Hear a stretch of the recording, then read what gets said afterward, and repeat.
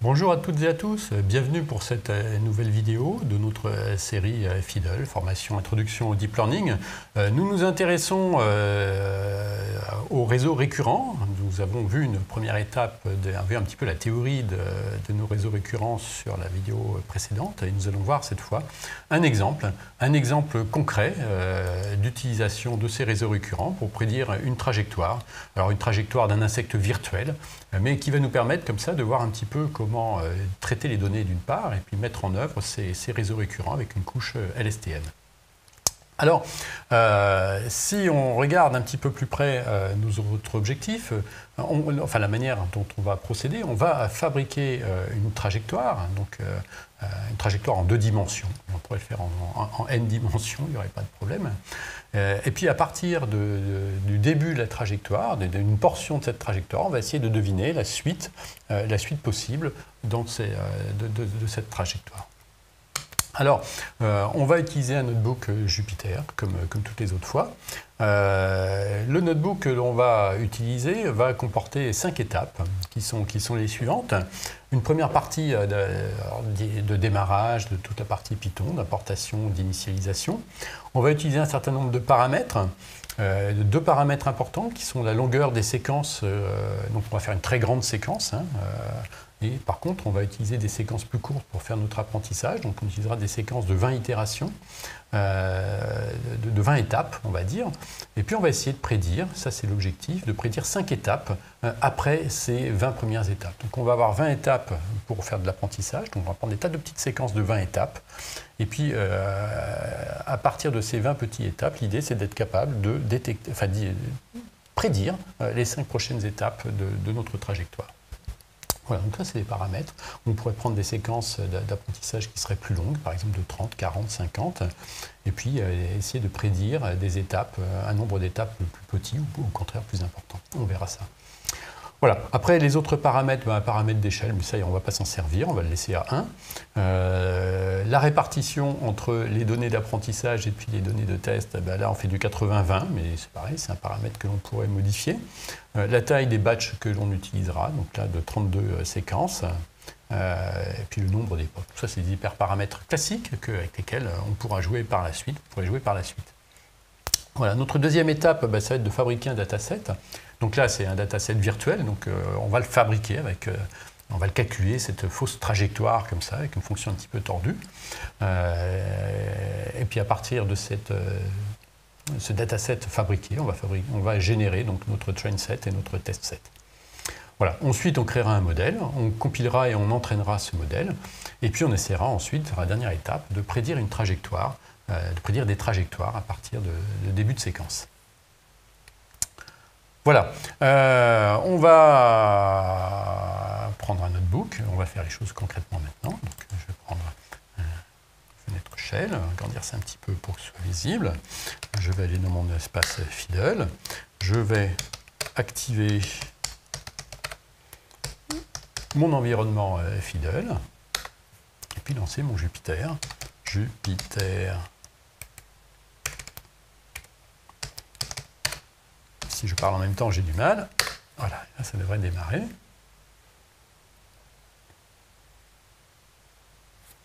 Voilà. Euh, je vais me mettre en plein écran. On verra mieux. Je vais agrandir un petit peu. Je vais dans mon readme, ici. Ça, je n'en ai pas besoin, je le range de ce côté. Puis je vais descendre comme ça pour trouver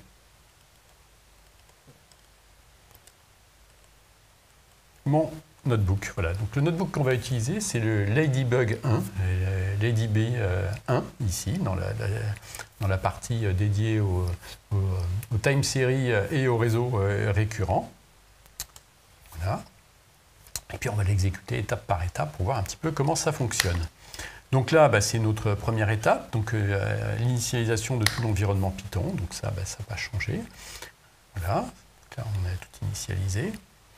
Euh, là, nos fameux paramètres. Donc là, on a quelques petits paramètres pour, générer notre, notre dataset. Donc ça, c'est des paramètres qu'on n'a pas besoin de modifier, mais avec lesquels vous pouvez jouer bien évidemment aussi. Donc ça, c'est le nombre d'itérations, le pas, et puis le nombre de, de, paramètres, enfin de dimensions que, l'on va générer. Donc on, génère deux dimensions, puisqu'on va se déplacer, on va faire une trajectoire dans un espace à deux dimensions. on va faire faire varier notre paramètre t de 0 à 1000 avec un pas de 0,02. Donc ça, c'est pour fabriquer notre trajectoire. On n'a pas besoin de le modifier. Notre deuxième paramètre que l'on a ici, je peux peut-être agrandir un petit peu, ce sera que plus visible. Euh, c'est donc la, longueur des, séquences dont on se servira pour l'apprentissage euh, et puis euh, la longueur, le nombre de pas que l'on voudra prédire par la suite. Euh, et puis donc bah, notre scale qu'on va laisser à 1, parce que là on est sur les petits datasets, on a des petites quantités de calcul. Euh, la répartition entre la partie apprentissage et la partie euh, test, la, batch size et l'époque. Voilà. Donc ça c'est les paramètres qu'on a vus déjà, qu'on a mentionné. L'override, ça c'est pour les tests d'intégration continue, je, passe. Et puis là, on va fabriquer notre, fausse trajectoire. Alors pour fabriquer notre fausse trajectoire, on utilise une fonction qui est une fonction mathématique euh, à base de sinus et de cosinus, donc une grosse, euh, cocotte, on prend un gros cuitou dans lequel on met comme ça des, des, fonctions qu'on va faire itérer de manière à fabriquer une trajectoire. Alors évidemment, ça ne peut pas être une trajectoire complètement aléatoire, parce que si c'est complètement aléatoire, évidemment, euh, si le, futur ne peut pas être défini à partir du passé, l'exercice ne peut pas fonctionner, bien évidemment. On n'est pas magicien. Hein. Un réseau de neurones, ce n'est pas quelque chose de magique. Voilà, donc il faut quand même qu'il y ait quelque chose derrière.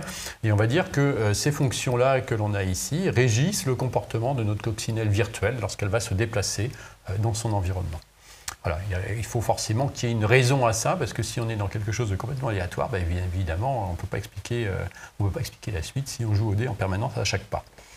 Voilà, donc ça, je définis mes fonctions, et puis je vais fabriquer comme ça ma trajectoire.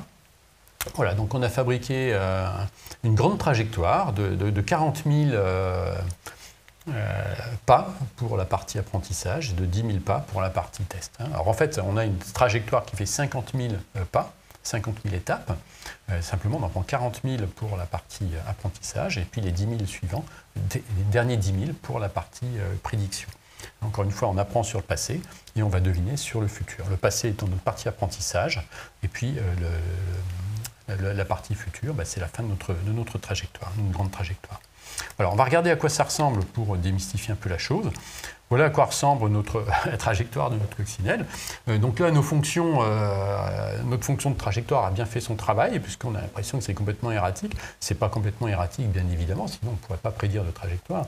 Hein, mais on voit que ça va un peu dans tous les sens. Humainement, on va dire que ce n'est pas intuitif de savoir comment, euh, comment elle se déplace son déplacement n'est pas purement intuitif. Donc voilà, donc on est dans un espace à deux dimensions.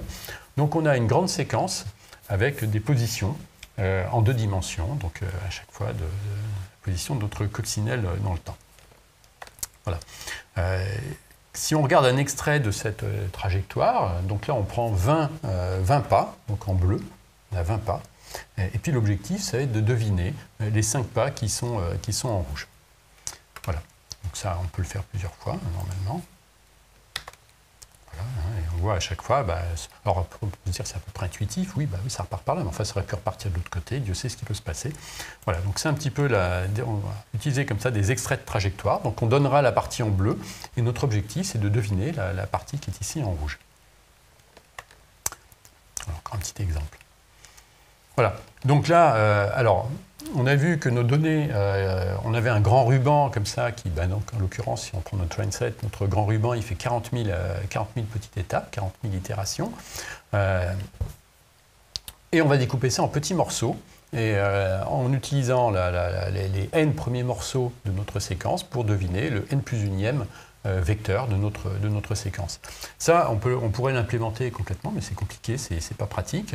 Et on va donc utiliser euh, une fonction, un, un objet euh, que nous propose Keras, qui est en fait le time series generator. Donc en gros, un time series generator, on va lui donner une séquence en entrée, on lui donne une séquence en sortie, et puis il va nous faire comme ça, on lui précisera la longueur des petits, des petits rubans que, que l'on veut avoir, et puis il va comme ça être capable de nous générer les batchs dont, euh, on aura besoin. Voilà, donc ça c'est cette fonction que, l'on a ici. Donc on va prendre un time series generator pour euh, le train set, un, time series generator pour le test set.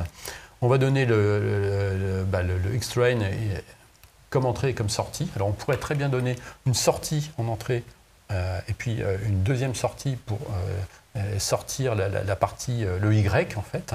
Là en l'occurrence, le Y que l'on veut, c'est le prolongement de la sortie de la série en entrée. D'accord? Donc, euh, euh, du coup, la, sortie que l'on attend, donc le Y que l'on attend, fait partie du même ensemble de données que euh, la série en entrée. Voilà. Donc, c'est pour ça que le X-train est, précisé deux fois. Ça, c'est l'input, ça, c'est l'output. Et en fait, on veut que l'output, donc le Y de notre, qui sera généré par notre time series generator, soit le prolongement de notre, entrée. Voilà, on précise donc la longueur euh, de nos séquences, la, taille de nos batchs, et puis on a fabriqué comme ça nos, train generator et notre test generator. Voilà, euh, un petit coup d'œil pour voir à quoi ça ressemble. Donc là, euh, on voit que le nombre de batchs sur la partie train qui, sera, qui seront disponibles, c'est 1250. Donc il va nous proposer 1200, il est capable de nous générer 1250 batchs de 32 séquences de 20 vecteurs de 2 composantes. Hein, on a nos 1250 batchs ici. Euh, on a chaque, pour chaque batch sur euh, notre X, euh, donc 32 séquences, puisqu'on a des batchs de 32. chaque séquence fait 20 vecteurs et chaque vecteur fait deux composantes. D'accord? Et puis évidemment, le Y, ici, bah, il fait 32Y, puisqu'on a des batchs de 32, ça c'est normal. Et notre Y, c'est un vecteur de deux composantes. Et donc ce vecteur-là, en fait, bah, c'est le 21e élément, euh, de, enfin c'est l'étape suivante après les 20 euh, que, l'on a ici, bien évidemment. Voilà, si on regarde concrètement, donc là on a ici un, élément ici, et, euh, et, donc on a comme ça notre série de, vecteurs qui correspondent aux différentes pas de notre trajectoire. Et puis notre Y ici, ben, en fait ce Y là, c'est l'élément qui serait à la suite de, cette, euh, de cette série ici. Voilà. On va fabriquer un modèle. Alors là, notre modèle, il est euh, euh, relativement simple. Alors, il y a un petit truc commenté là que je peux virer qui ne nous sert pas. Hop. Donc on, est en mode séquentiel, on va rester en mode séquentiel, donc une syntaxe, la, syntaxe la plus simple que, nous propose Keras. on crée une, autre couche d'entrée. Hein. Notre couche d'entrée, bah, c'est des séquences de séquences LED, donc 20, 20 vecteurs. Euh, et nos 20 vecteurs font euh, features len, donc deux euh, composantes. Hein. Donc on a en, entrée, on a 20 séquences de vecteurs de dimension 2. Voilà. Et puis on va donc utiliser une couche récurrente, donc en, l'occurrence GRU, on aurait pu utiliser une couche LSTM, une couche GRU ici. Donc on prend 200 unités, euh, et puis on ne demande pas d'avoir euh, le retour, on ne demande pas d'avoir toutes les séquences, on s'en fiche. Tout ce qui nous intéresse, nous, c'est la dernière position. Donc on donne 20 séquences et on veut 20 euh, vecteurs pour notre séquence de 20 pas. pas 20 séquences, 20 pas, pardon. Donc 20 vecteurs pour décrire notre séquence. Et puis ce qu'on veut, c'est avoir le 21e vecteur. Hein, c'est ce que l'on attendra en sortie pour avoir la, suite de notre, notre petit morceau de trajectoire. Voilà, donc on ne veut pas avoir, euh, ça ne nous intéresse pas, tout ce qu'on veut, nous, c'est un seul vecteur de, sortie, donc on est en mode série vers vecteur. Voilà, par contre, on met 200 unités, donc on aura un vecteur en sortie qui va faire 200 composantes, et puis ces 200 composantes, on va les donner à une, couche euh, complètement euh, connectée de deux neurones. donc on termine par une couche dense qui sera complètement connectée à ces à ce vecteur de 200 composantes et qui nous donnera donc deux composantes en sortie, hein, puisqu'on fait une couche dense de deux vecteurs. Voilà, donc c'est relativement simple. On va voir ça qui va apparaître ici. Donc on a notre couche grue avec 200 unités. Et puis derrière, ben, on a nos deux neurones, euh, notre couche dense de deux neurones, euh, connectés donc à ces, 200, à ces 200 composantes derrière. Voilà. Donc là, ben, on retrouve sans surprise 400 euh, euh, paramètres hein, pour notre couche dense, hein, pour les poids, plus les, deux biais. Voilà. On va compiler ça euh, en rajoutant un callback ici pour enregistrer le meilleur modèle. alors, comme, alors, comme fonction de perte, on va utiliser une MSE. Hein. là, on est, sur on est sur de la régression, finalement. On va prédire notre X et notre Y, enfin notre XY de notre dernier vecteur. et puis on va utiliser NAMAE comme, comme métrique pour poursuivre notre apprentissage.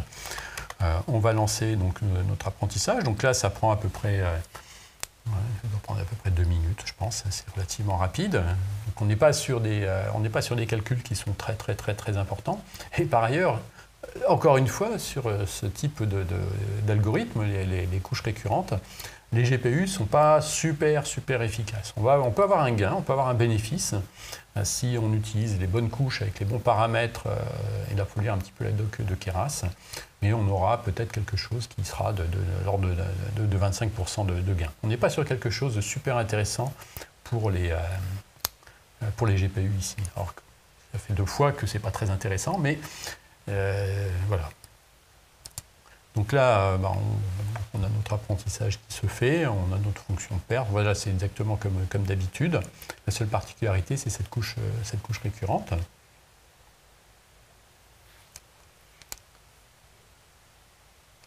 là, on va laisser progresser. On aurait pu couper dans la vidéo cette, petite partie, mais on va faire ça en vrai et sans tricher. Alors là, c'est pareil, hein, on aurait pu rajouter, euh, j'en profite pour meubler, hein, mais on aurait pu rajouter euh, du tensorboard euh, pour, aller suivre en direct notre, apprentissage. Si on est sur des choses qui sont un petit peu compliquées, c'est clair que ça ne va pas prendre deux minutes. Hein. on est sur des, des, traitements qui peuvent être très longs. Les structures de données en entrée peuvent être importantes. On peut superposer également des, des couches LSTM ça, il n'y a pas de problème. La seule contrainte pour pouvoir superposer des couches LSTM, c'est qu'il faut que chaque couche LSTM euh, euh, récurrente, pardon, parce que c'est vrai pour une couche grue aussi, il faut que chaque couche récurrente ne soit plus en mode euh, vecteur vers série pardon vers vecteur, mais qu'elle soit à ce moment-là en mode série vers série, de manière à pouvoir régénérer une deuxième une série qui sera réavalée par la couche récurrente suivante, qui régénérera une série qui sera ravalée par la couche récurrente suivante. La dernière couche pouvant, elle, cracher un vecteur. Mais en tout cas, si on, superpose des couches euh, récurrentes, il faut évidemment qu'elles soient capables de, sortir des séries pour alimenter celle qui suit. Voilà, on est en train de faire notre dernière... Euh, alors là, il n'y a pas de tricherie, hein, on va voir exactement ce que ça donne. On est en une prise, on est euh, sans montage. On va voir le, résultat que l'on va voir. on voit, alors si je me remets comme ça, voilà, manière à ce que ce soit à peu près à plat. Euh, on voit ici qu'on a quand même notre, MAE qui diminue, hein, à 0,03 et on voit qu'elle a, qu'elle a diminué et qu'elle continue, de, diminuer. Nos réseaux récurrents sont assez, sensibles au, surapprentissage. Voilà, bah on voit d'ailleurs que là ça a remonté à la fin. Ok, allez, on va rezoomer un petit peu. On va aller voir un SAD un petit peu plus près, voir un petit peu ce qui, ce qui se passe. On va afficher notre courbe d'apprentissage. Bon, elle est plutôt sympathique. Hein, euh, voilà, donc on, voit globalement qu'on est, est descendu, puis bon, une petite remontée vers la fin, mais enfin on voit qu'on n'est pas sur quelque chose de super super linéaire, mais enfin de super super euh, lissé, mais euh, bon, ok, ça c'est plutôt sympathique. Et puis là, bah, on va faire une prédiction. Donc là, pour notre prédiction, bah, on va récupérer notre modèle. Alors là, hein, on pourrait euh, analyser ça un peu plus finement, mais on s'en fiche. Hein, on va déjà aller voir ce que ça donne. Donc là, on récupère notre modèle. Donc là, je récupère le best modèle qu'on a pu enregistrer grâce à, notre, callback. Et puis, on va faire une première prédiction. Alors, notre prédiction, bah, c'est très simple. Euh, je prends une, une, séquence. Donc là, je prends la partie, euh, dans la partie test. Donc, je prends le, jeu de test. et puis, je prends un point à l'intérieur du ruban. C'est comme si pour bien comprendre la manière dont ça, dont ça fonctionne. Donc j'ai mon ruban, euh, mon ruban de données comme ça. Donc là, on est sur le, test 7. Hein. Donc là, je vais prendre, euh, je, prends un point au hasard dessus. Alors j'évite de mettre près de la fin parce que je vais prendre une, euh, longueur après. Donc je, me mets, je prends un point comme ça à l'intérieur de notre séquence. je vais prendre ma petite séquence donc, de, 20, euh, de, 20 étapes. D'accord C'est ce que je fais ici. Donc, je vais, donc S, ça c'est mon point ici, l'endroit où je me positionne. D'accord Je prends ensuite de S à S plus séquence len. Donc, je prends euh, une longueur comme ça, sachant que ici, bah, j'ai mes 20, Alors, moi, ça c'est quelque chose qu'on pourra modifier. J'ai mon séquence len, séquence len ici, donc mes, mes, 20 étapes comme ça. Et je prends cette petite partie de ruban là, comme ça. D'accord et après, euh, donc ça, moi, c'est ce que je vais utiliser pour, euh, pour faire ma prédiction. Et ce que je veux obtenir, ben, c'est le, euh, n plus unième ici. Hein, c'est celui qui est ici. D'accord Voilà. Donc là, c'est ce que je fais ici. Donc séquence, ici, ben, c'est cette partie-là. Et puis, les séquences row, ben, c'est l'étape d'après. Hein, c'est l'élément qui, est ici. Voilà. Et donc là, je donne ma séquence ici à mon modèle pour faire une prédiction. Et puis j'obtiens une séquence euh, PRED euh, qui est en fait mon, euh, une prédiction de, cet élément-là. Voilà. Alors, est-ce que ça, ça a marché? Ben, On va voir ça. Et on va afficher le résultat. Donc voilà. Donc là, ben, je rediminue un petit peu. C'est plutôt sympathique, a priori. Donc on a notre trajectoire en bleu. Et puis en rouge, euh, donc en pointillé bleu, euh, on a la, vraie valeur attendue, mais là qui est parfaitement superposée avec la, prédiction. Magique là. On va recommencer. Là c'est pareil, c'est parfaitement superposé. Là c'est encore parfaitement superposé. Euh, alors on voit un tout petit, petit, petit décalage ici. Donc là c'est notre trajectoire en deux dimensions.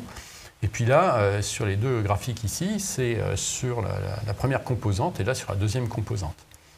Donc euh, évidemment, un écart sur une des deux composantes a tout de suite un, effet très important sur la, trajectoire globale. Voilà, hop, pardon. Là, on voit que la prédiction est, euh, euh, plutôt, très sympathique. à chaque fois, ça me décale comme ça, mais on voit qu'en recommençant à chaque fois, hein, on voit même là où on avait pourtant un changement de direction brutal, alors là, c'est assez rigolo. Hein, mais on voit que c'est, euh, même dans ce cas-là, la, prédiction s'est révélée, euh, être assez bonne. Ok, donc là on a fait ça sur une fois, sur une étape, et, on a réussi comme ça euh, à avoir une prédiction de l'étape suivante, la 21e étape, qui, est plutôt, satisfaisante, qui est plutôt juste. Fort bien, c'est très bien. Maintenant, on veut aller prédire plus loin. Hein. On a dit qu'on voulait essayer de prédire, dans le paramètre de départ, 5 étapes, les 5 étapes suivantes. Alors comment on va faire ça? Bah, On va faire ça de manière itérative, c'est-à-dire que là, on a fait une séquence. Hein, si je reprends notre séquence en deux dimensions, ici, on va reprendre une qui est plus jolie parce que là, ce petit virage à la fin n'est pas très agréable. Ah, voilà, on a un tout petit écart, en plus on voit bien. Donc là, ben, euh, ok, on a, fait, on a une séquence qu'on a donnée en bleu, et puis on a une étape supplémentaire qui est l'étape en rouge. Ok, première itération. L'itération suivante, je vais faire quoi? Ben, Je vais refaire une séquence en repartant de, la deuxième étape de mon ruban bleu. Donc je repars d'ici, je prends toute cette séquence-là et je rajoute le point rouge. Et puis je vais donner ça à manger à mon, euh, réseau récurrent de manière à ce qu'il me sorte une nouvelle étape. D'accord? Et, euh, et, comme ça, donc là je vais repartir d'ici, partir du ruban ici, tac, jusqu'à ici. Et puis il va me prédire un nouveau point, par exemple qui sera celui-là. Hein, si je le mets, euh, si je le mets en, en bleu, je ne vais pas voir grand-chose, je vais le mettre plutôt en, en jaune, donc il va me prédire celui-là. Ok, donc, euh, donc là, je vais faire une itération, je repars cette fois d'ici, je reprends toute cette séquence-là jusqu'ici. Hop, hein, je reprends tout ça, tac, tac, tac, en partant d'ici. Et puis là, il va me reprédire un nouveau point, par exemple ici. Parfait. Eh ben, je rajoute ce point-là dans ma série, et puis je redonne la série euh, au réseau récurrent, il refait une itération et il me propose encore un nouveau point. Et on va procéder comme ça, étape par étape, on va agrandir comme ça notre, euh, prévision. Voilà, donc là, c'est ce qu'on fait à travers cette, euh, la, fonction qui est ici. Alors, on ne va pas détailler le code qui est dedans, mais c'est relativement simple. Hein. On, a, on, a, une itération ici, hein. on voit la, boucle ici. On va faire n itérations. En l'occurrence, on va faire 5 itérations. Euh, donc, à chaque fois, on va calculer la séquence. Et puis, on va, on va, agrandir, notre, on va agrandir notre séquence avec le, pas que, que, que l'on aura eu grâce à notre euh, la prédiction qu'on a eue grâce à notre réseau récurrent. Voilà, alors voyons voir ce que ça donne. Donc là, c'est ce qu'on a ici. Voilà. Et là, on voit, ben, alors là, pareil, hein, même, même légende, donc en bleu, ben, la partie que l'on donne, et puis ensuite en rouge, les différentes itérations que l'on va avoir. Et on a en, bleu, euh, en bleu creux, euh, on a les, les, valeurs réelles de, de, la séquence. Hein. Donc voilà, on va le faire plusieurs fois. Voilà. Alors là, par exemple, on voit que ça s'est passé un peu à côté. D'accord Donc on a notre séquence en bleu. Euh, on voit que notre premier point n'était pas trop mauvais, mais on voit qu'après, c'est parti un peu de travers. Donc si on regarde la décomposition sur les, deux, les deux, axes, ben, on voit là que ça a décroché un petit peu, ça a décroché clairement sur les deux. On va refaire un essai. Voilà, donc là, bah, on voit que sur le premier, axe, ça n'a pas été trop, trop, trop mauvais. Sur le deuxième, on voit que ça, a dérapé. Mais on voit quand même une chose intéressante, c'est que la, tendance, euh, la tendance est respectée. Là, on voit que ça, a trop tourné, mais on voit que c'est bon, ça tourne quand même du bon côté. Voilà, là on voit par exemple ici qu'on a une prédiction qui est, euh, assez bluffante finalement. Hein.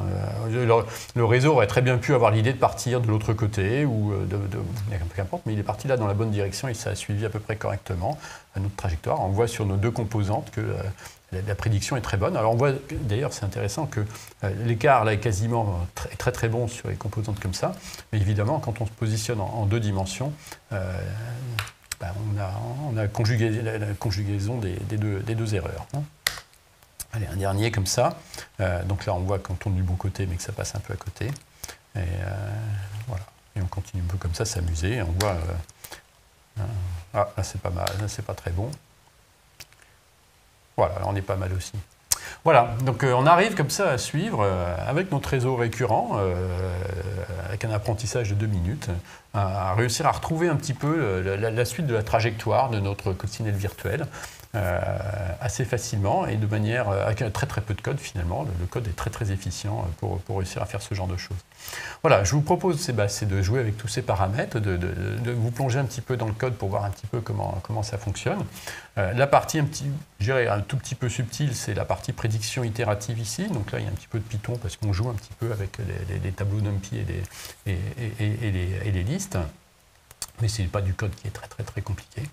Et puis grâce à ça, ben, on arrive comme ça, à, pas à démêler, pas à démêler la, trajectoire de notre coccinelle, mais enfin en tout cas à, retrouver de l'intelligence dans cette fameuse trajectoire. Encore une fois, euh, on a l'impression que c'est aléatoire. Si c'était totalement aléatoire, on ne pourrait pas prédire la trajectoire, bien évidemment. Il faut que le, que le, passé puisse euh, permettre de deviner euh, l'avenir, si on, on, veut que ça fonctionne. Mais c'est pas parce qu'on euh, on ne comprend pas ce qui se passe qu'il n'y a pas des règles derrière, et ça c'est le propre de beaucoup de phénomènes physiques. Voilà, donc un phénomène physique très complexe, parce que là, dans notre prédiction, enfin dans la fabrication de notre trajectoire virtuelle, on a 16 paramètres quand même, euh, on a 16 paramètres qui sont utilisés comme fonction pour définir notre trajectoire. Donc on est sur quelque chose de très complexe, et même avec quelque chose de très complexe comme ça, on arrive quand même à, avoir une prédiction qui est, euh, qui est finalement plutôt, plutôt intéressante. Voilà, donc ça c'est quelque chose qui est un outil qui, peut sans doute être très intéressant dans, beaucoup, de, situations scientifiques. Voilà. Euh, ça, c'était notre exemple donc, de notre coccinelle virtuelle. Euh, l'exemple suivant, bah, c'est un exemple de prédiction météorologique. Donc là, on va partir sur de véritables données, euh, des données réelles issues de, de l'observation d'une station météorologique à l'aéroport Saint-Exupéry à Lyon. Et on va essayer comme ça de faire, à partir de ces données réelles, des prédictions à 3 heures et à 12 heures. Et on verra que la première difficulté, bah, ce n'est pas encore une fois la, partie réseau, de, réseau de neurones, mais ce sera déjà de, réussir à, comprendre un petit peu nos données, à préparer nos données, à nettoyer nos données. Et on verra qu'on arrive à avoir des prédictions qui ne sont pas forcément euh, mauvaises, qui ne sont pas géniales, et on verra aussi comment, quelles seraient les stratégies pour essayer d'améliorer ça. Merci beaucoup d'avoir suivi cette vidéo, et puis euh, eh ben, à très bientôt.